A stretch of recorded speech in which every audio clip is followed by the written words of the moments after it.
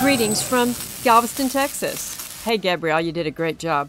And look at these cowboys. While we're walking the streets looking for artwork, we saw this little band out of somewhere, and where are they going? Hold on, you'll find out where they were going.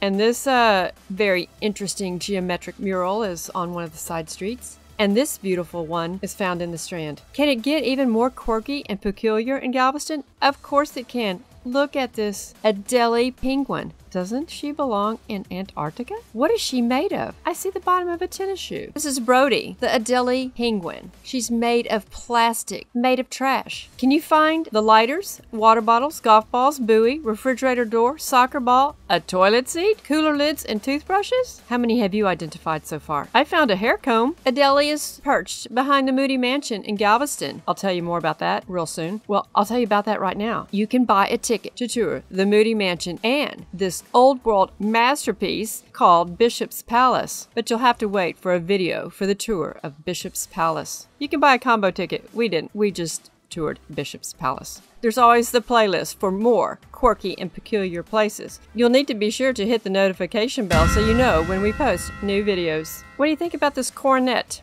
Follow me if you want to go somewhere else fun and amazing. But don't go now because I've got to tell you about the shark and where that band went. There's so much more. You got to hang on. But before you do anything else, I need you to subscribe. Isn't this the most beautiful turtle you've ever seen? Okay, now, here is Greta, the great white shark. I'll give you a few seconds here. Can you find the toy bumper car?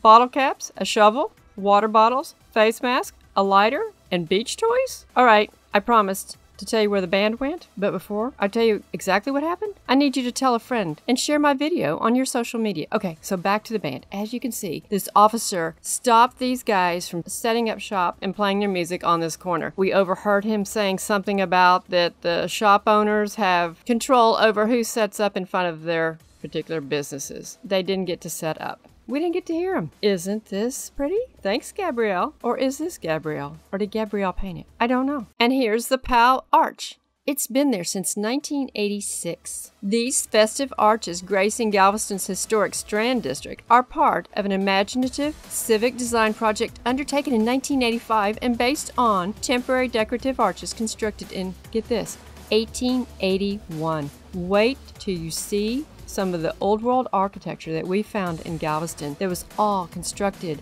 during the 1800s. You won't want to miss those videos. Flip flops on the ground. Unclassic Road Trip. Have you told a friend about my channel? Have you seen the one about the lobster? Well, here's the link.